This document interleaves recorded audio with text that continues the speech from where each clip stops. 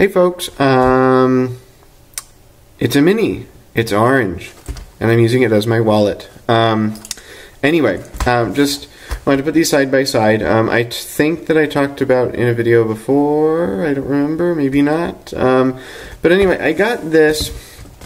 Um, my wallet that I was carrying around was dying and I was very inspired by a few different people's posts and videos about um, using um, minis or M2s as wallets, um, capture um, for ideas and such. Um, and I wanted to give it a try. So um, I've actually tried this before, but I didn't actually.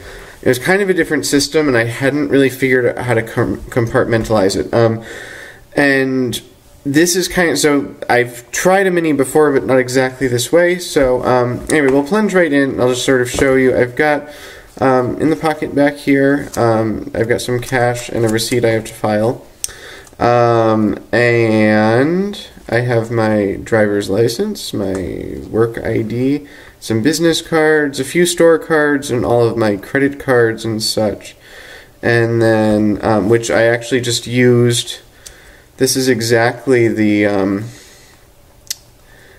exactly the same thing that Kent from Oz did in his mini video, which I'll try to remember to link, um, where I just bought um, a vinyl um, card holding insert for a wallet and then cut it came as like a little booklet of them that you would stick in your wallet um, and I just cut them out and punched them and stuck them in here with the cards, but exactly the same as Kent's. Um, the the cards are load from the side towards the ring, so you're not they're not going to slide out through the top or the side or anything. These are um, quite secure. Um, I'd be more concerned about the pages themselves eventually kind of ripping out of the rings than the cards falling out of them. Um, and then back here, I just have a little just a little note paper. Um, some of this is note paper, some of this is address sheets. Um, and all I use this for is literally like I'm walking around, I keep this in my, it, you know, it's big to keep in your pocket, but I keep it in my pocket. And I suddenly remember something I need to write down. I don't have this with me, so I write it in here. And then I basically transfer it in here eventually. So I really don't need a lot of paper in here. Um, I just kind of keep enough so that um, it's fairly easy to write. I, and base, it sort of pads it because I'm actually, um, this back pocket I am keeping some coins in. Um, and so that makes it a little bit, oops, can you see? Yes, you can see. Um, that makes it a little lumpy. So um, having extra paper under it makes it a little bit easier to write on. Um, this is a zebra. Uh, can we focus? Probably not. I don't know what's wrong with this camera today. Anyway, um, it's a zebra mini pen, um, and you just go like that, and you can write.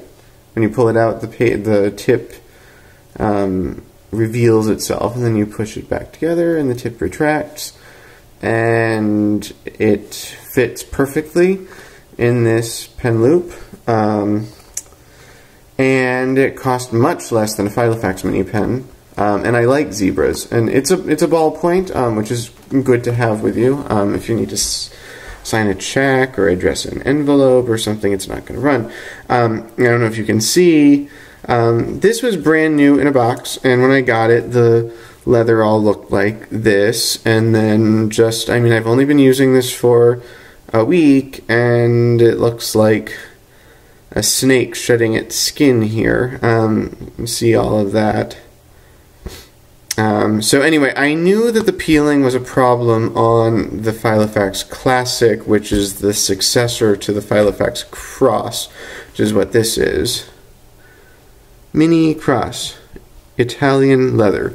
Um, anyway, um, basically like the first time I opened it, I noticed that this it the this coating on here crazed, and then it's just sort of getting worse and worse. So um, despite the fact that I thought I might avoid that with the cross, it clearly is a problem that impacts at least this color of cross or maybe this size of cross. Um, when you open it, you see it does crinkle pretty, like the leather is forced to sort of crinkle up a good bit here. Um, so anyway, um, I'm not letting that bother me. Um, I know that um, this the color is not rendering quite right in this light and on this camera. It's um, very much a pumpkin color. I really like it, um, and it's. I think my only complaint about it is it's a little bit chunky. Um, it's. I mean, I knew that modern when modern minis are a good bit fatter than like the mini Windsor that I used to have.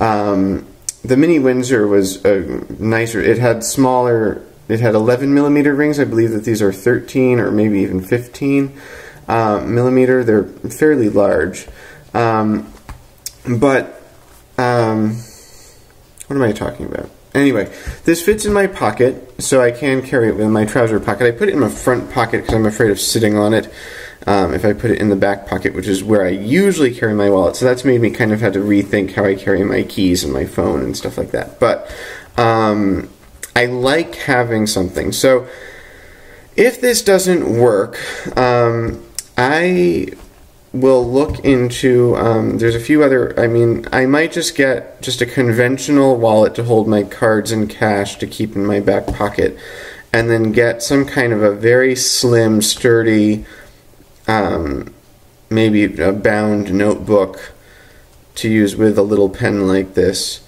to use as this sort of notes capture on the fly. It's it's really really nice. I I have my personal size planner with me most of the time, but um, not all the time. There are times, especially at work, when like my hands are full and this is just another thing to carry.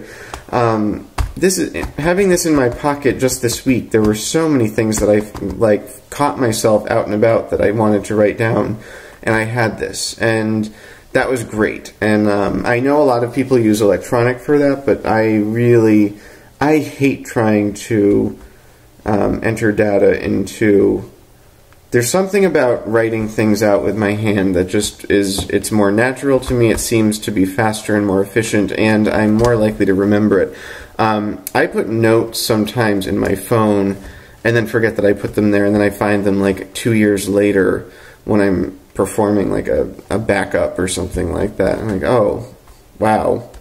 I guess I dropped the ball on that. So, anyway, um, that's the mini. Um, we'll look at these sort of side by side. You see, it's not that slim, um, but it is a cute little thing. Um, definitely gives me daydreams about whether I could make this work as my like planner. Um, I think that I could, but I'm not going to.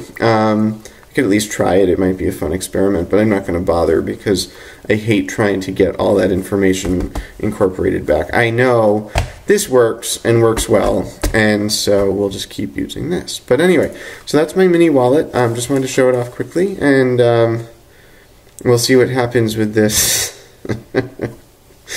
Goodness me. The, you know, this model was on the market for a very long time. I'm really surprised that Filofax was able to. I mean, if this happened, you know, it wasn't too expensive, but it wasn't too cheap either. So, anyway, um, I'll stop yakking now. Um, if you have any questions, let me know, and I'll update as this develops. But for the moment, I'm very happy with this. So, um, talk soon. Take care. Bye bye.